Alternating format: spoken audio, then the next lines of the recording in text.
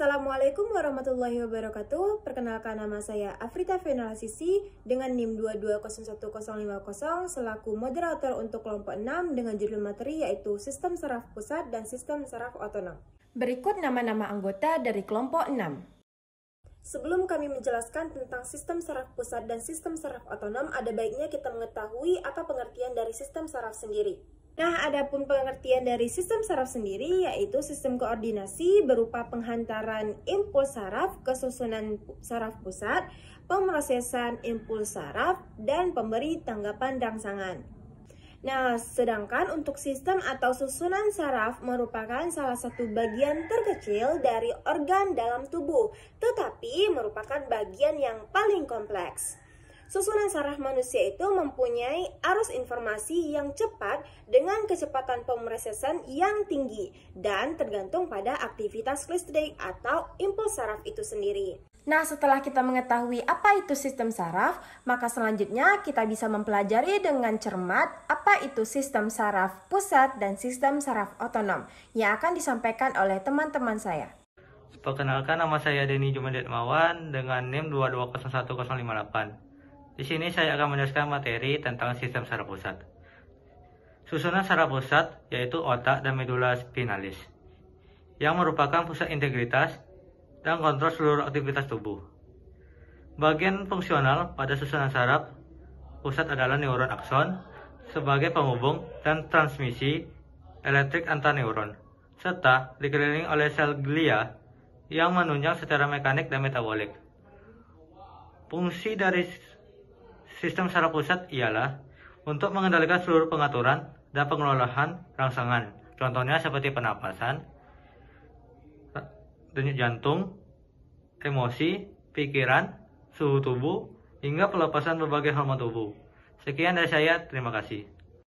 Yang pertama ada otak. Otak merupakan alat tubuh yang sangat penting dan sebagai pusat pengatur dari segala kegiatan manusia yang terletak di dalam rongga tengkorak. Yang kedua, ada medula spinalis atau sumsum -sum tulang belakang adalah kumpulan serabut saraf yang dikelilingi oleh tulang cakram, tulang rawan, ligamen, dan otak untuk melindunginya dari cedera dan guncangan akibat gerakan tubuh. Tulang tersebut terdiri dari 33 ruas yang disebut dengan vertebra atau tulang belakang. Nah, penjelasan lebih rinci akan dijelaskan oleh rekan saya. Terima kasih. Baiklah, di sini saya akan menjelaskan tentang otak. Otak ini merupakan pusat pengendali tubuh. Otak dilindungi oleh tengkorak dan selaput meninges. Bobot otak yaitu sekitar 2% dari berat badan kita atau sekitar 1 sampai 1,5 kg. Otak memerlukan 20% oksigen dari tubuh kita.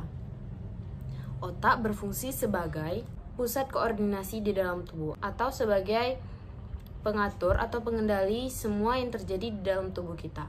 Otak ini terdiri dari tiga, yaitu otak kecil, otak besar, dan otak tengah. Otak besar merupakan pusat pengendali organ tubuh yang disadari. Otak besar dibagi menjadi dua belahan, yaitu belahan kanan dan kiri, yang di mana bagian kanan berfungsi sebagai pengendali tubuh bagian kiri, yaitu sebagai pusat eki, yaitu kemampuan merasakan, perasaan, dan emosional atau tingkah laku kita. Belahan kiri mengatur tubuh kita yang di sebelah kanan, yaitu pusat EQ, logika, rasio, membaca, menulis, dan matematika. Nah, tiap belahan tadi terdiri dari empat lobus, yaitu lobus frontal, lobus parietal, lobus temporal, dan lobus occipital. Lobus frontal ini pusat berencana, pengendalian, dan berpikir, dan juga kontrol motorik.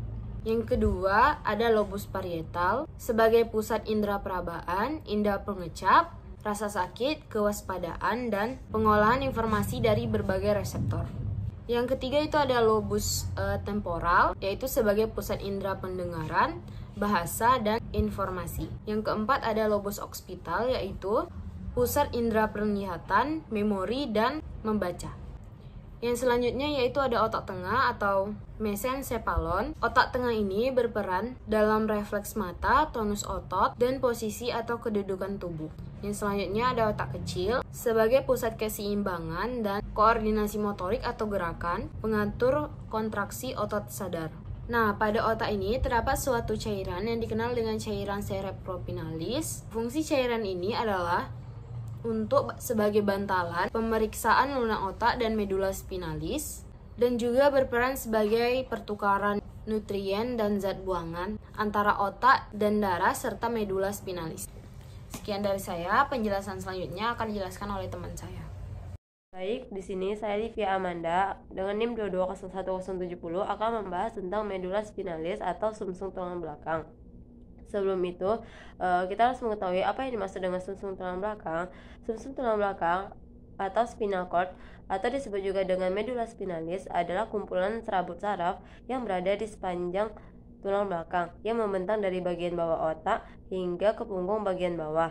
Nah, Kumpulan jaringan ini memang relatif kecil dengan berat hanya 35 gram dan diameter 1 cm.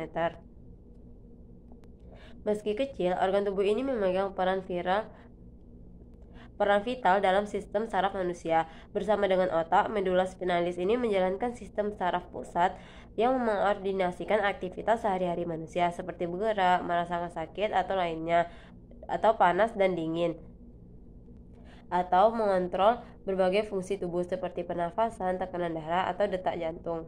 Jadi tulang belakang ini terdiri dari 33 ruas yang disebut dengan vertebra atau tulang belakang. Adapun sumsum tulang belakang ini melewati lubang di tengah atau disebut kanal tulang belakang yang ada yang ada di setiap ruas tulang belakang. Sumsum tulang belakang terletak memanjang di dalam rongga tulang belakang mulai dari ruas-ruas tulang leher sampai ruas-ruas tulang pinggang yang kedua.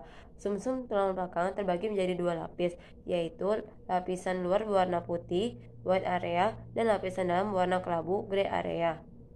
Baik, saya akan menjelaskan tentang white matter atau bagian putih. Nah, gray matter di dalam medula spinalis ini terbungkus oleh bagian berwarna putih yang disebut dengan white matter. Bagian ini berisi akson yang memungkinkan berbagai bagian sumsum tulang belakang untuk berkomunikasi dengan baik dan lancar.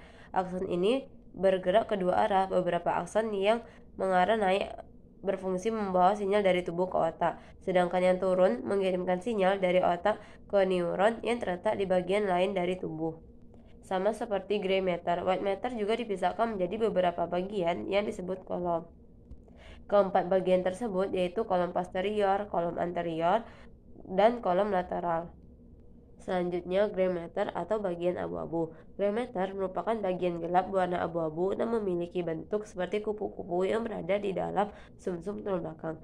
Bagian ini terdiri dari badan sel saraf atau neuron dan sel glial serta memiliki empat sayap yang disebut dengan tanduk dua tanduk yang berada di depan atau tanduk anterior atau ventral menggunakan sel saraf atau neuromotorik yang berfungsi membawa informasi dari otak dan medula spinalis ke otot tubuh untuk merangsang pergerakannya.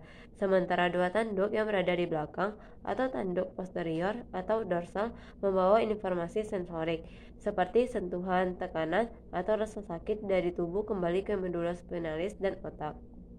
Jadi, di sumsum tulang belakang ini, lapisan luar ini mengandung serabut saraf dan lapisan dalam mengandung badan saraf. Di dalam sumsum tulang belakang terdapat saraf sensorik, saraf motorik, dan saraf penghubung. Fungsinya adalah sebagai pengantar impuls dari otak ke otak serta sebagai pusat pengatur refleks. Baik, yang selanjutnya adalah sistem saraf tepi, di mana sistem saraf tepi ini dibagi menjadi dua bagian, yaitu sistem saraf somatik dan sistem saraf otonom. Sistem saraf somatik merupakan sistem saraf yang terdiri dari 12 pasang saraf kranial dan 31 pasang saraf spinal. Proses pada saraf somatik ini dipengaruhi oleh kesadaran. Fungsi lainnya dari sistem saraf somatik adalah bertanggung jawab untuk mengirimkan informasi sensorik serta membuat tubuh melakukan gerakan secara sukarela. Lalu sistem saraf otonom di mana sistem saraf otonom mengatur jaringan dan organ tubuh yang tidak disadari. Bila fungsi sistem saraf ini terganggu, berbagai masalah kesehatan pun dapat terjadi. Sekian dari saya, di mana materi selanjutnya akan dilanjutkan oleh teman saya. Baiklah, di sini saya akan menjelaskan sistem saraf sosmatik. Apa sih sistem saraf sosmatik? Sistem saraf sosmatik berperan dalam pergerakan organ atau anggota tubuh. Sistem saraf ini menangkap sinyal untuk disalurkan ke dalam saraf pusat. Setelah disalurkan ke sistem saraf pusat, sistem saraf sosmatik akan menyalurkan respon tersebut ke dalam organ ataupun anggota tubuh. Sistem saraf sosmatik memiliki dua bagian, yang pertama saraf karnial, yang kedua saraf spinial. 12 pasang saraf kranial muncul dari berbagai bagian otak. Beberapa dari saraf tersebut hanya tersusun dari saraf sensorik. Tetapi, sebagian besar tersusun dari serabu sensorik dan motorik. Yang kedua, saraf spinal. Ada 31 pasang saraf spinal berawal dari korda melalui redik dorsal atau posterior dan ventral atau anterior. Saraf spinal adalah saraf gabungan motorik dan sensorik, membawa informasi ke korda melalui neuron eferin dan meninggalkan melalui eferin.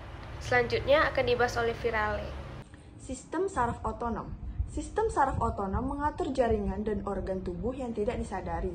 Jaringan dan organ tubuh yang diatur oleh sistem saraf otonom ini adalah pembuluh darah dan jantung. Sistem ini terdiri atas sistem saraf simpatik dan sistem saraf parasimpatik. Fungsi dari saraf simpatis yaitu mensarafi otot jantung, pembuluh darah, dan sel pencernaan. Yang kedua sebagai serabut motorik sekretorik pada kelenjar keringat dan serabut motorik pada otot kulit. Lalu mempertahankan terus otot. Fungsi dari sistem saraf parasimpatik yaitu untuk mengontrol berbagai aktivitas tubuh saat sedang istirahat serta mengaktifkan pencernaan dan metabolisme. Seperti yang terlihat pada gambar, itu adalah perbedaan di antara sistem saraf parasimpatik dan juga sistem saraf simpatik. Berdasarkan divisinya juga dibagi menjadi dua bagian, yaitu yang pertama divisi sensori, yaitu susunan saraf tepi dimulai dari reseptor pada kulit atau otot ke dalam plexus, radix, dan seterusnya, kesusunan saraf pusat. Jadi bersifat ascendens. Yang kedua, divisi motorik yang menghubungkan impuls dari SSP ke efektor. Yang bersifat descendens untuk menjawab impuls yang diterima dari reseptor di kulit dan otot dari lingkungan sekitar. Baiklah, itu tadi penjelasan tentang sistem saraf pusat dan sistem saraf otonom yang kami sampaikan. Semoga apa yang kami sampaikan tadi dapat bermanfaat untuk kita semua dalam hal apa pun. Apabila ada kesalahan kami mohon maaf. Wabillahi taufiq wal hidayah. Wassalamualaikum warahmatullahi wabarakatuh. Terima kasih.